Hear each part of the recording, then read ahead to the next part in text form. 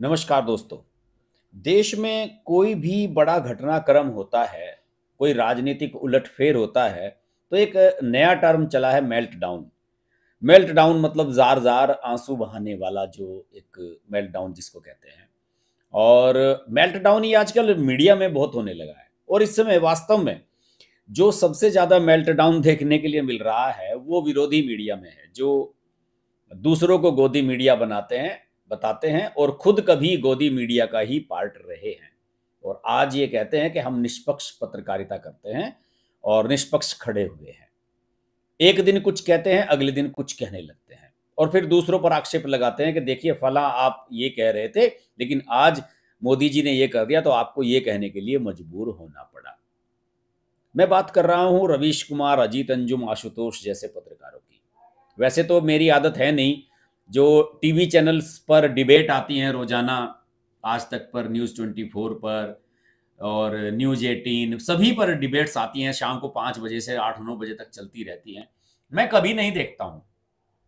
कल इत्तफाक सा कि मैं शाम के समय अंजना ओम कश्यप का कार्यक्रम देख बैठा कुछ देर के लिए, क्योंकि उसका पैनल बहुत अच्छा था। अंजना ओम कश्यप का कार्यक्रम आज तक पर आता है और उसका टाइटल शायद हल्ला बोल है।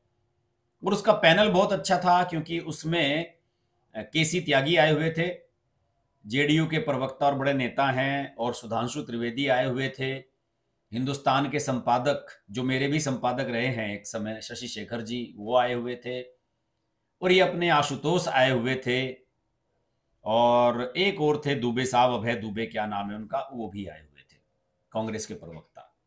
ये सब लोग उसमें आए हुए थे। तो चर्चा ये थी कि साहब, जो भारत रत्न सम्मान मिला है, चौधरी चरण सिंह को पीवी नरसिम्हा राव को, या स्वामी स्वामीनाथन को, जो कृषि वैज्ञानिक रहे हैं, उन सब पर चर्चा हो रही थी, उन सब पर डिबेट हो रही थी। और आप सब जानते हैं कि केसी त्यागी पुराने नेता हैं, चरण सिंह के समय के नेता हैं, और बड़े इमरजेंसी के समय आंदोलन में उन्होंने शिरकत की थी। उस समय जो घटनाक्रम हुआ था, इंदिरा गांधी को जिस तरीके से विपक्ष ने उलट पुलट कर दिया था, जनता पार्टी की सरकार बनी थी 1977 में, उस पूरे घटनाक्रम को उन्होंने अपनी आँखों से देखा है। और अब आशुतोष जैसे पत्रकार, जो उस समय शायद पत्रकारिता में नहीं थे, वो जो किताबों में उनको पढ़ाया गया है, जो वामपंथियों ने लिखा है, हिस्टोरियंस ने उसी को पढ़कर आए हुए हैं, वो बड़ा कुछ कह रहे थे। उनका आशुतोष का ये कहना था कि साहब, अगर चौधरी चरण सिंह नहीं, चौधरी चरण सिंह ने वो जनता पार्टी की सरकार ना गिराई होती खुद प्रधानमंत्री बनने के लालच में तो आज देश की राजनीति का रुख ही कुछ और होता। चौधरी चरण सिंह को भारत रत्न मिलने से इतने परेशान अजीत अंजुम, रवीश कुमार और ये आशुतोष जैसे लोग हैं, बिल्कुल वामपंथी सोच वाले लोग, के बस पूछिए मत। इनका मेल्ट डाउन रुकने का नाम नहीं ले रहा है। इनकी आँख, नाक, कान सब जगह से आँसू निकल रहे हैं। अजीत अंजुम ने भी शो किया अपना और एक पत्रकारों का पैनल बनाया और उसमें खूब जमकर भला बुरा कहा, जयंत चौधरी को कि सत्ता के लालची हैं, ये किया, वो किया, जाकर मिल गए हैं और मोदी के साथ मिल गए हैं। और इन लोगों का एक और नया नैरेटिव है कि साहब, नरेंद्र मोदी ने तो पार्लियामेंट में ये कह दिया था कि एक अकेला सब पर भारी और ये भी कहा था कि हमारी 370 सीटें आ रही हैं, अब की बार 400 पार हैं। तो फिर जयंत चौधरी को और नीतीश कुमार को अपनी तरफ़ मिलाने की क्या ज़रूरत है? टीडीपी से चंद्रबाबू नायडू को भी मिलाने की कोशिशें की जा रही हैं। तो भाई, नरेंद्र मोदी को पहले से ही पता था कि ये सब लोग उनके साथ आने वाले हैं, तभी तो वो कह रहे थे कि 370 पार करोगे, करेगी इस बार भाजपा। और एनडीए की जो टैली है, वो 400 के पार जाएगी। ये लोग कैसे मूर्ख पत्रकार हैं, मेरी ये बात समझ में नहीं आती कि नरेंद्र मोदी दूरगामी बात कह रहे थे। वो ये नहीं कह रहे थे कि जयंत चौधरी या नीतीश के आने से पहले ही हम 370 जीत लेंगे। वो ये जानते थे कि जो समीकरण बन रहे हैं अलग अलग राज्यों में भारतीय जनता पार्टी जो समीकरण बनाने की कोशिश कर रही है, उसके तहत उनके 370 आ ही जाने हैं। तो वो उस कॉन्फिडेंस में आकर नरेंद्र मोदी कह रहे थे। अब आशुतोष ने अंजना ओम कश्यप के शो में चौधरी चरण सिंह को दगाबाज कहने की कोशिश की, ये साबित करने की कोशिश की। मैंने उनका सत्य हिंदी डॉट कॉम पर उनका रात में शो आता है आशुतोष की बात, वो भी मैंने थोड़ा सा देखा। उसका जो इंट्रो उन्होंने कहा, उसमें भी यही कहा कि चौधरी चरण सिंह जो है, उन्होंने जनता पार्टी की सरकार, जो देश में पहली विपक्ष की सरकार थी, उसको गिराया था और देश की राजनीति में एक तरह से उन्होंने दगाबाज की भूमिका चौधरी चरण सिंह ने निभाई थी। दगाबाज शब्द उन्होंने इस्तेमाल नहीं किया, लेकिन उनका कहने का लब्बो लुबाब यही था। बिल्कुल झुंझलाए हुए हैं आशुतोष। और ये झुंझलाहट उनकी अंजना ओम कश्यप के शो में नज़र आई, लेकिन वहाँ केसी त्यागी बैठे हुए थे। केसी त्यागी ने उन्हें मुँह तोड़ जवाब दिया। आशुतोष ये कह रहे थे कि साहब, देश के ऐसे पहले प्रधानमंत्री थे, मैं आपको वीडियो क्लिप्स सुनवाऊँगा वो, कि देश के ऐसे पहले प्रधानमंत्री थे चौधरी चरण सिंह कुछ महीने के लिए बने, लेकिन इस दौरान जो है पार्लियामेंट का सेशन ही नहीं हुआ और वो पार्लियामेंट का मुँह नहीं देख पाए।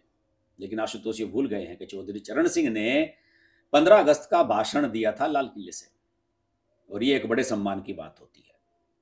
तो आशुतोष को इतिहास की ज़्यादा जानकारी है नहीं।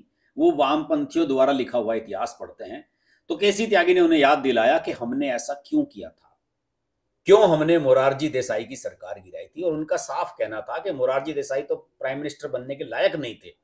सारी लड़ाई तो राजनारायण और चौधरी चरण सिंह ने की थी। चौधरी चरण सिंह की पार्टी के लोकदल के सौ से अधिक सांसद जीत कर आए थे।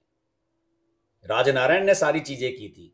और जेपी, भी जयप्रकाश नारायण भी नहीं चाहते थे कि वो मोरारजी देसाई प्राइम मिनिस्टर बने। लेकिन उसके बावजूद भी, बिना किसी संघर्ष किए और तीस बत्तीस सीटों वाले मोरारजी देसाई बन जाते हैं प्राइम मिनिस्टर। तो उन्होंने कहा कि बहुत सारी चीज़ें हुई थी जो आशुतोष को नहीं पता है।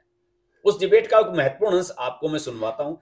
ज़्यादा लंबा नहीं सुनवाऊँगा, वरना आज तक वाले कॉपीराइट वाला मामला डाल देंगे, वो ज़रूर सुनिएगा। और फिर उसके बाद राकेश टिकैत का मेल्ट डाउन भी आपको सुनवाऊँगा कि जयंत चौधरी, जिन, जिनको वो हमेशा सपोर्ट करते रहे हैं और अपनी घर की पार्टी मानते रहे हैं राष्ट्रीय लोकदल को, वो जब चली गई है एनडीए के साथ तो राकेश टिकैत का मेल्ट डाउन किस तरह का है और उनके चेहरे की खिसियाट कैसी है?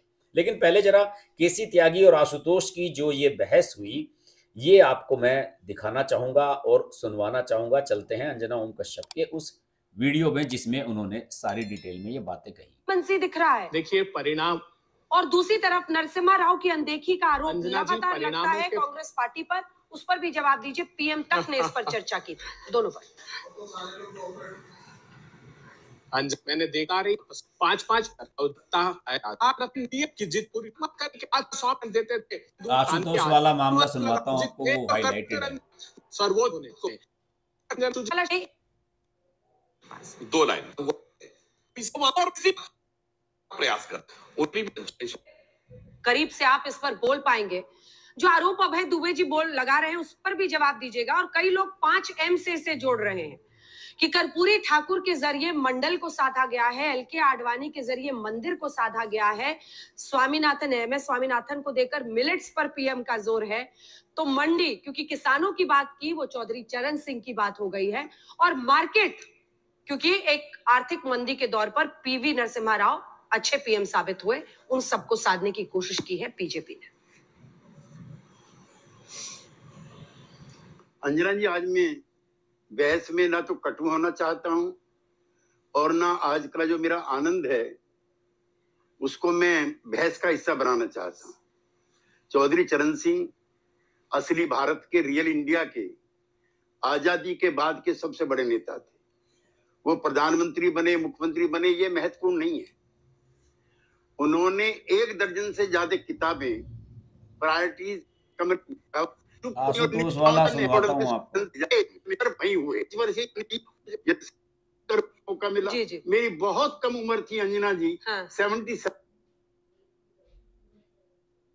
आशुतोष का मेल्ट डाउन तो काम भी था लेकिन वो राज क्योंकि तो कांग्रेस ने समर्थन विड्रॉ कर लिया before he faces parliament.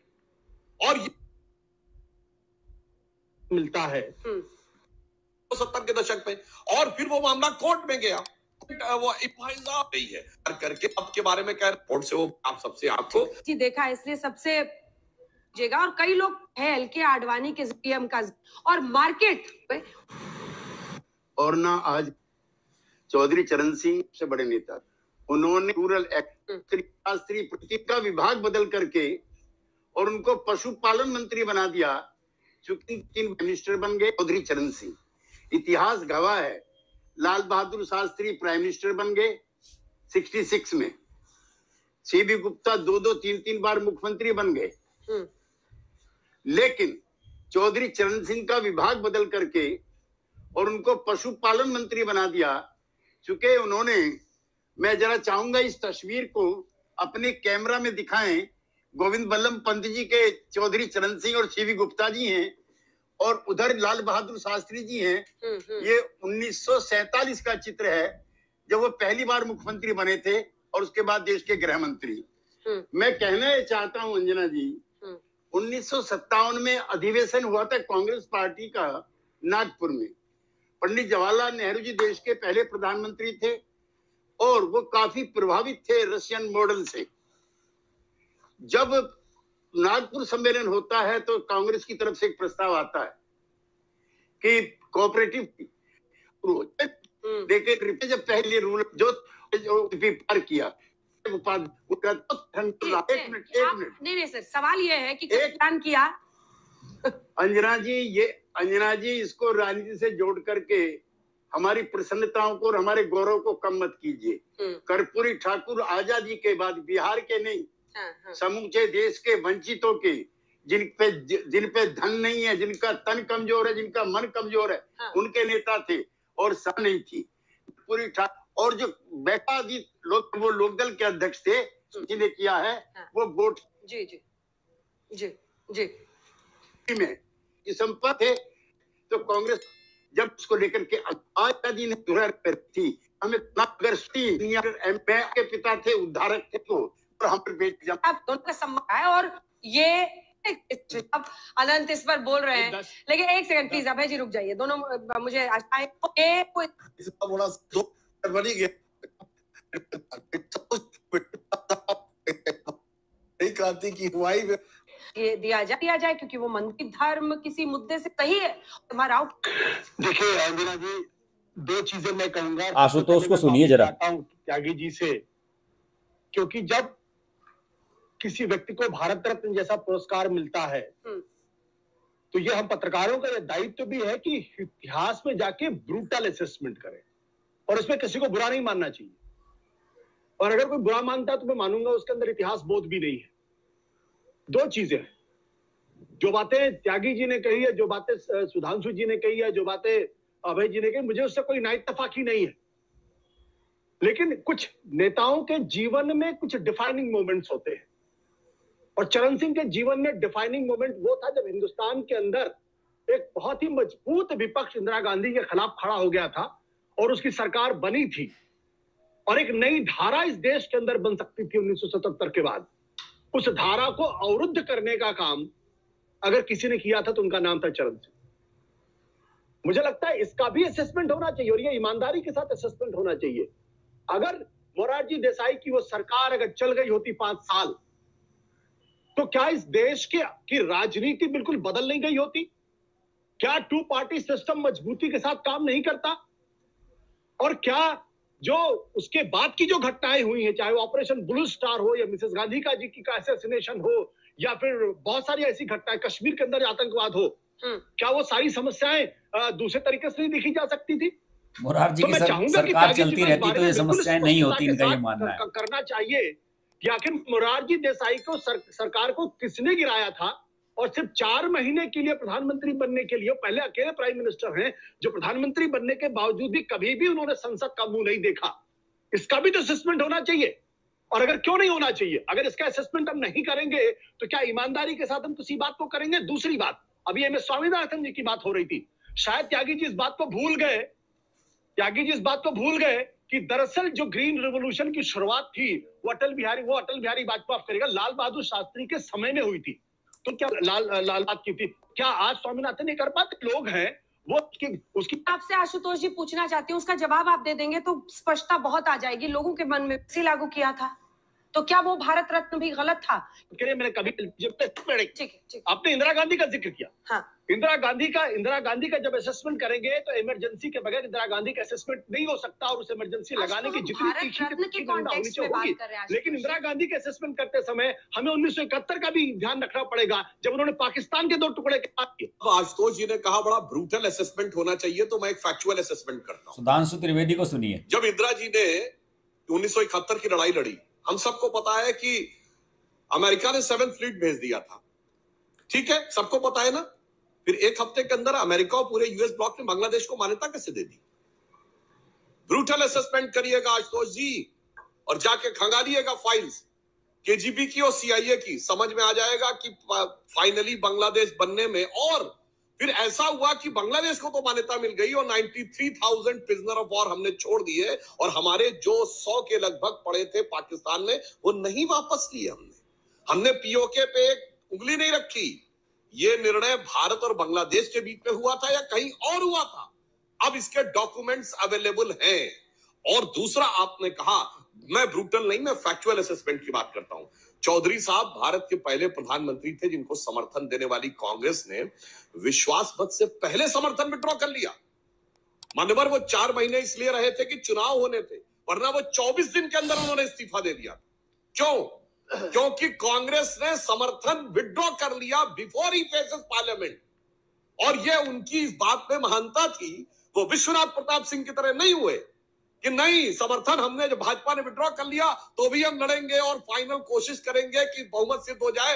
And BP Singh became the first prime minister who was defeated on the floor of the house Chaudhary Charan Singh ji ने कहा कोई बात नहीं मेरा समर्थन विड्रॉ हो गया ये मेरी इस्तीफा। ये भी असेसमेंट है इसको पूरा करना चाहिए। तो जिन लोगों ने वो गेम किया और आपकी बात से मैं सहमत हूँ। जब जनता पार्टी में केसी त्यागी जी मानेंगे जब सब लोगों ने अपने दल का विलय कर दिया था तब वो गठबंधन नहीं चला जनाब। तो आज जो ये सो कॉल्ड इंडी गठबंधन है हम्म। इसकी क्या गति हो रही है?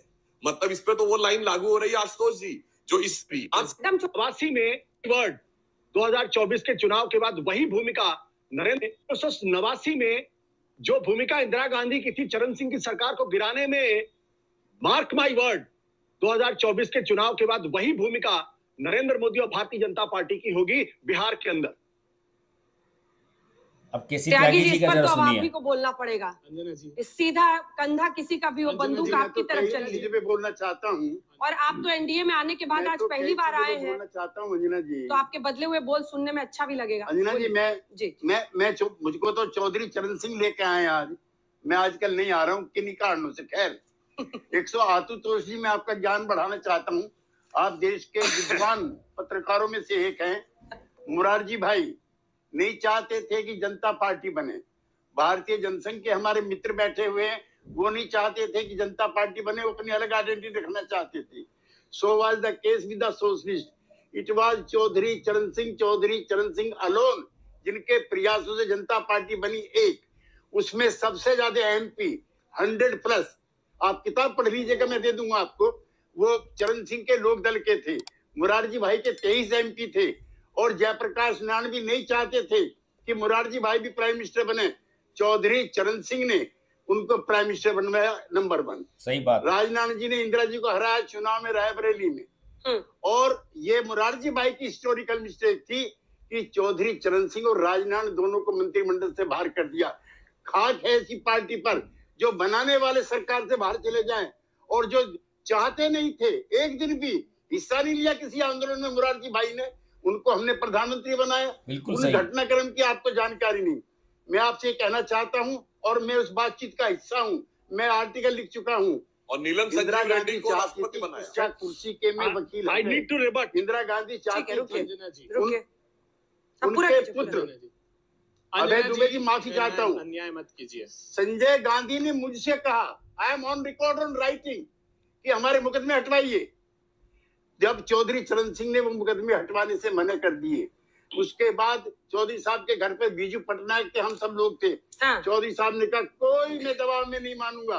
वो गए और जाके इस्तीफा दे दिया। इतिहास की जो घटनाएँ हैं वो अपने आप में सब कुछ कहती हैं किसी के ईर्षालु होने से किसी के मन खराब होने से किसी के पत्रकारिता में प्रतिबद्धता कहीं और होने की वजह से इतिहास नहीं बदला करता। ये ये ये आशुतोष को कह दिया कि उनकी जो पत्रकारी की पत्रकारिता की प्रतिबद्धता है आशुतोष की वो किसी और तरफ़ है साफ़ तौर पर उनकी बड़ी खुलकर बेजती की। सुनाने के लिए तो मैं दोस्तों आपको ये पूरा वीडियो सुनवा सकता था लेकिन क्या है कि ये आज तक वाले कहीं कॉपीराइट वगैरह का मामला इसमें ना बना दे मैं इसलिए नहीं सुनवा पा रहा हूँ। आप उनके चैनल पर जाकर उसको डिबेट को जरा सुनिएगा। और खिसियाहट जो है आशुतोष की वो देखते बनती है। मुझे तो समझ में नहीं आता कि इनके जैसे पत्रकारों को आखिरकार इतना खिसियाने की आवश्यकता क्या है? जो चीज़ें घट रही हैं, राजनीति में जो होता है, उसका फैक्चुअल असेसमेंट करना चाहिए। ये कहते हैं कि ब्रूटल असेसमेंट होना चाहिए। ब्रूटल मतलब निर्मम एक कसौटी पर उसको खरा जाना चाहिए। तो निर्मम कसौटी पर तो ये भी होना चाहिए कि आशुतोष शायद ये भूल जा रहे हैं कि आज जिस विपक्ष मायावती, अखिलेश यादव इनकी बात करते हैं, उन लोगों ने इनके मुँह पर कसकर एक तमाचा मारा था। काशीराम ने कभी एक थप्पड़ रसीद किया था आशुतोष को? लेकिन आज वही आशुतोष सोशल मीडिया पर लिख रहे हैं कि काश, काशीराम को क्यों नहीं भारत रत्न दिया जा रहा है? अरे भाई, दे दिया जाएगा काशीराम को भी भारत रत्न। नरेंद्र मोदी ऐसे ही लोगों को तो भारत रत्न दे रहे हैं। नरेंद्र मोदी खुद को तो नहीं दे रहे हैं ना भारत रत्न? अपने जीते जी या अमित शाह को तो नहीं दे दिया ना?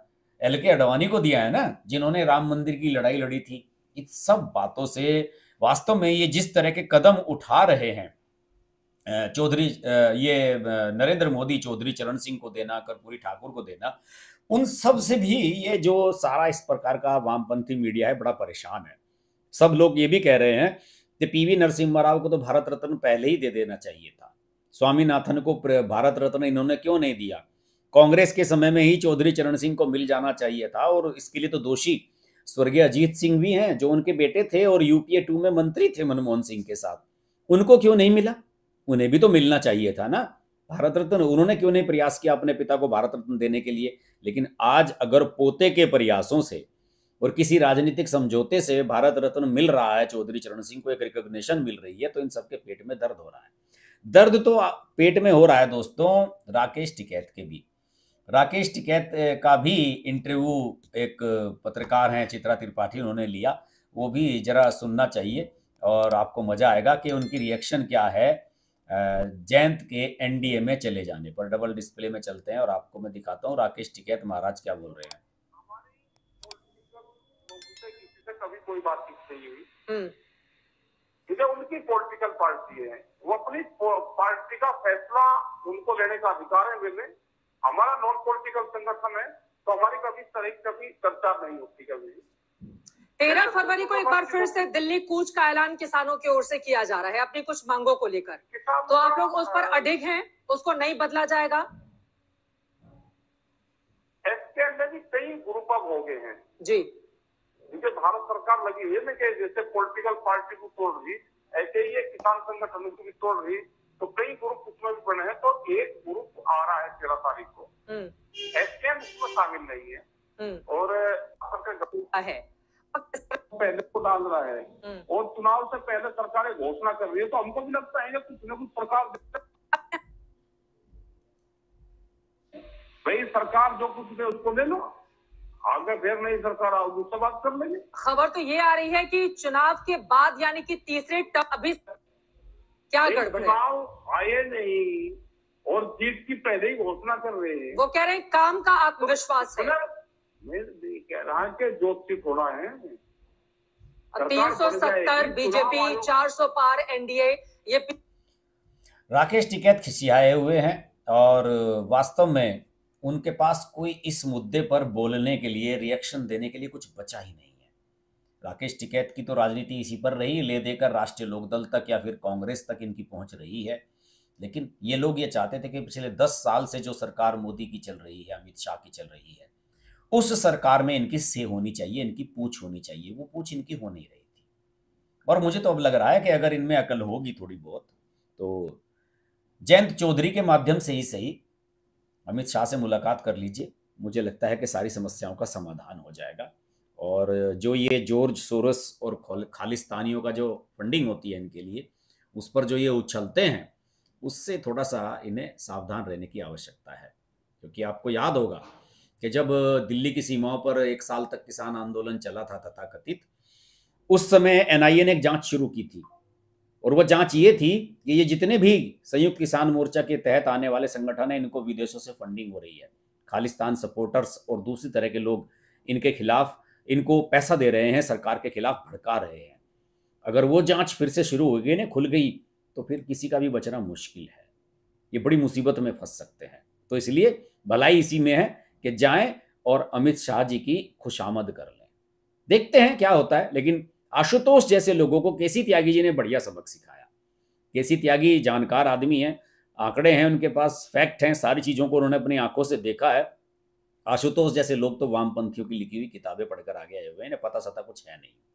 बहरहाल, ये वीडियो आपको कैसा लगा ज़रूर बताइए। वीडियो अच्छा लगे तो लाइक कीजिए, शेयर कीजिए, चैनल को सपोर्ट कीजिएगा, ये क्यूआर कोड स्कैन कीजिएगा, हमें समर्थन दीजिएगा। विदेश में अगर रहते हैं तो आप हमें पेपाल के माध्यम से कंट्रीब्यूट कर सकते हैं। हमारी पेपाल आईडी है हर्ष की बात, जो नीचे लिखी आ रही है, उसके माध्यम से भी आप हमें सहयोग कर सकते हैं। आपसे फिर मुलाकात होगी। नमस्कार। अगर आपको हमारी वीडियो पसंद आई तो वीडियो को लाइक करें, चैनल को सब्सक्राइब करें और नोटिफिकेशंस के लिए बेल आइकन को प्रेस करें।